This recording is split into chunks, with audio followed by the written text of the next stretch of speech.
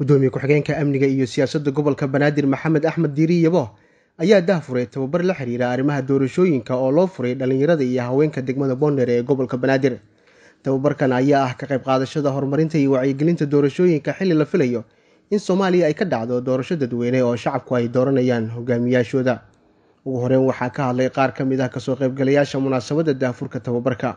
Konton iyo sagaalkii sagaashan iyo laba xildhibaan aa soomaaliya iyo talyaana dalka la dhihi jiray oo lixdii gobol ahayd aa sagaal iyo sagaashan iyo laba xildhibaan aa ka soo baxda meeshaas lagu doortay xamar aniga doorashada xamaraan ka qayb galay oon joogay berigaas marka waxaa la rabaa dhallinyaradan maantay inay ka gudbiso isjiidjiidkan isjiidjiidkan soddonkan sano nahareeyey waxaa la rabaa dhallinyarada soomaaliya inay inta u kacdo maamulkuna si cadaalada u shaqeeyo. Haddaan cadaalad lahayn horta qaabdarra ay ma ahayd. Maamulka gobolka banaadir oo inoo suurageliyey inaan barnaamijkan barano aan ka faa'iidaysano run ahaantii aad iyo aadaan ugu faraxsanahay.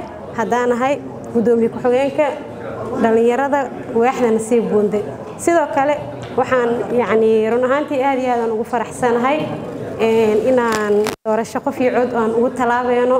Run ahaantii waa fikrad aad iyo aad u muhiimsan gudoomiyaha degmada boondheere ee gobolka banaadir gudoomiyaha dhallinyarada gobolka banaadir iyo mas'uul ka socday xafiiska duqa muqdisho ayaa hadalka qaatay.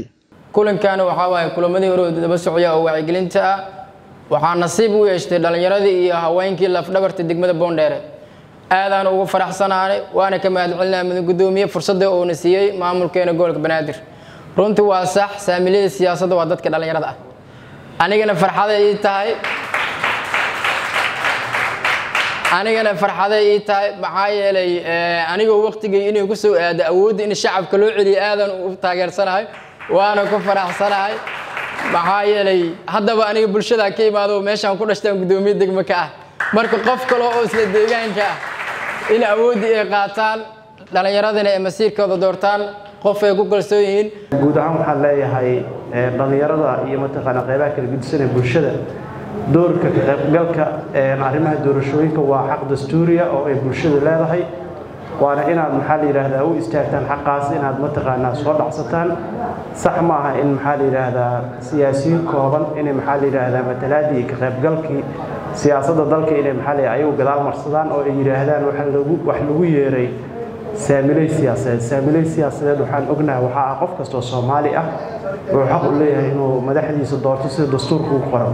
Waddanku wuxuu galay marxalad laga gudbaayo anigaa qofkan raba iyo nin jeclaysi. Waxaana loo gudbayaa one man one vote insha allahu tacaala oo qof walba ay doorato cidda ayadu rabto cidda ayada matalaysa maalintay ayadu ay ka weyso waxay u dooratana ay tiraahdo adiga naga naso hebel ama heblaaya kaa fiican oo dooranaynaa marka dee saas intaas sidii loo gaaro waxyaabahaas quruxda badan waxay u baahan tahay dhallinyaradu inay muujiso dadaal badan wacyigelin iyo abaabul bulsho si loo gaaro meesha la higsanayo iyo meelo ka sii sarreeya. Marka dhallinyarada waxaan ku boorinaynaa inay ka shaqeeyaan wacyigelinta abaabulka iyo diyaargarowga qof walba oo soomaaliyeed inuu xuquuqdiisa aasaasiga ah oo ah inuu waxna doorto lana doorto soo bulshada soomaaliyed u gaari lahayd insha allahu tacaala. Gudoomiye ku-xigeenka amniga iyo siyaasadda gobolka banaadir maxamed axmed diiri yabo oo dahafuray tababarkan oo socon doona saddex maalin ayaa ku dheeraaday ka hadalka muhiimadda doorashooyinka qof iyo cod iyo sida ay uga go-an tahay in ay hirgeliyaan.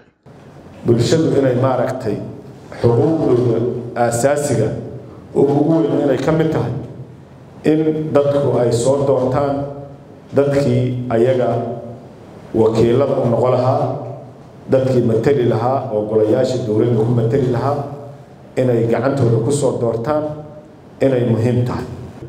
Marka waxaa la rabaa in maaragtay hawshaas sidaas ay u socoto aan taageerno garab istaagno danta dadkaanna waxay ku jirtaa haddii ay gobol tahay iyo hadday muqdisho tahaba qofku waxa uu rabo inuu doorto. Aada iyo aad baad u mahadsan tihiin gobolka banaadir haddaan anagu doorashaan u diyaargaroobeynaa qof iyo coda.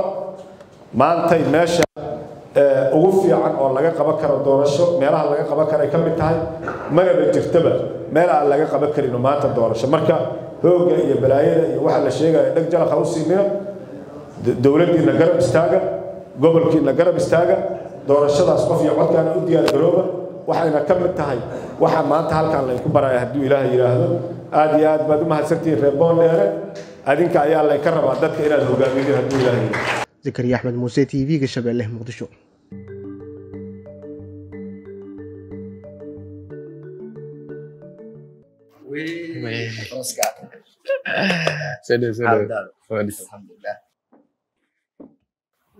warna horeysiga ayaanta istaalkaaga inuu kaga baxaye haa waxaa bilaabay inaan ka dukaamaysto meelo fogfog shaararkayga saraawiishayda kabahayga saacadahayga waxoo dhan aan ka dalbado dukaamo ku yaalla baris washington iyo london anaa adeegsanaya my bank mastercar my bank mastercar mar kasta iyo meel kasta